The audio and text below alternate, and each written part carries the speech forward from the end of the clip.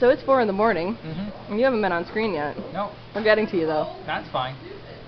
How are you holding up? Oh, I'm doing fine. I, you know, I work bartend at night, so I'm used to staying up.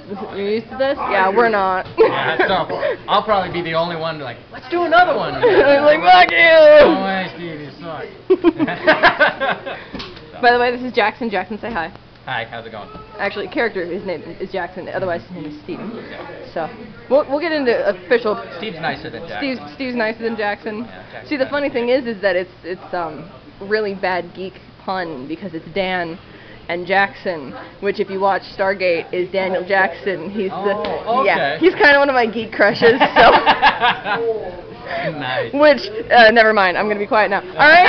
Wait. Bye.